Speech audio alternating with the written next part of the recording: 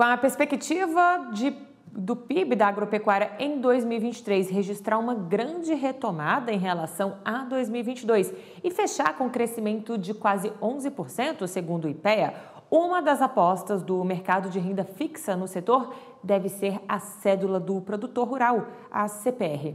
A demanda por esse produto de investimento deve aumentar, mas com o apelo maior ao investidor institucional e também qualificado. A gente vai saber as perspectivas e entender melhor sobre esse assunto com o Carlos Roveran, que é sócio-diretor da Fintech Lacos. Seja bem-vindo, Carlos. Obrigada pela sua participação.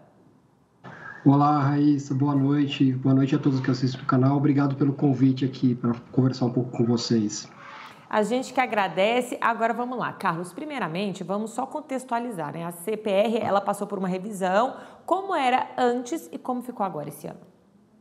Claro, é, esse já, já não, foi, não foi a primeira revisão aí que a, CPR passou, mas esse ano aqui a, foi nomeada como a Lei do Agro 2, né, a partir da Lei 14.421 de 2022, agora de julho, que trouxe uma, uma revisão à CPR pleiteando uma simplificação e facilitação no processo de emissão, né, ser um pouco mais simples, mas também, né, principalmente ampliando o, o, alcance da CPR. Né? Acho que essa é uma das grandes mudanças que teve nesse, nessa revisão da lei.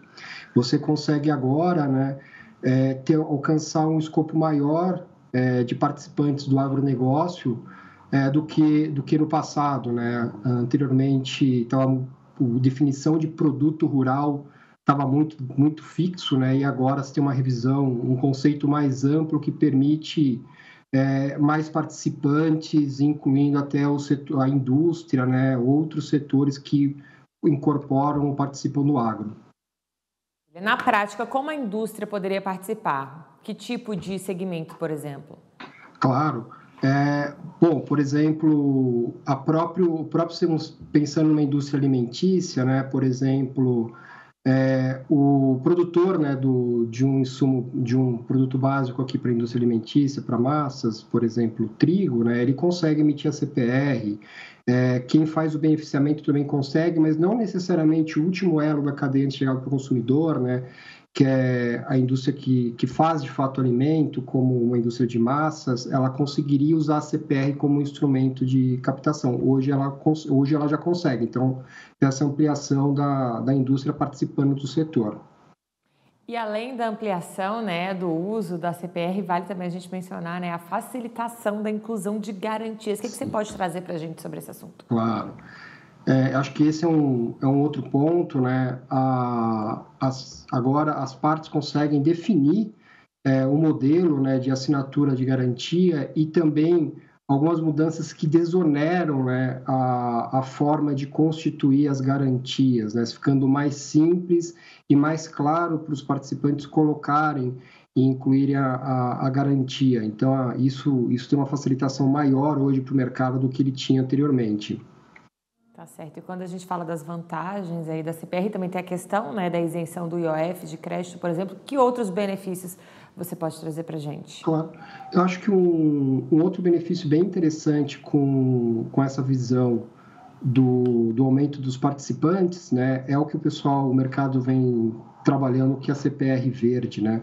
Quando você traz uma amplitude maior de quem pode fazer a emissão de uma CPR, por exemplo, todo aquela, aquele, aquele serviço que, que o produtor contrata para fazer o manejo ambiental, a proteção, áreas que precisam ser restauradas, qualquer coisa nesse sentido, ela pode ser objeto né, de captação de recursos via CPR. Então, ele pode fazer uma emissão, uma emissão de uma CPR para contratar prestadores, por exemplo, para fazer um reflorestamento ou manter uma área uma área é, preservada dentro do seu do, da sua da sua área produtiva e isso isso vem sendo nomeado no mercado como a CPR verde né que é um título que também vem, vem sendo falado bastante tá certo Carlos antes da gente encerrar o que esperar então da CPR em 2023 é, a CPR está dando todas as facilitações, o maior uso, é, o mercado acredita que ela vai ser muito utilizada. é, você tem novos veículos né, de investimentos, né, tem mais investidores olhando o agro, com o FIAGRO, que também veio com a mesma lei, né, então a CPR deve ser um dos instrumentos mais utilizados, aliados com outros aí, o mercado de capitais vem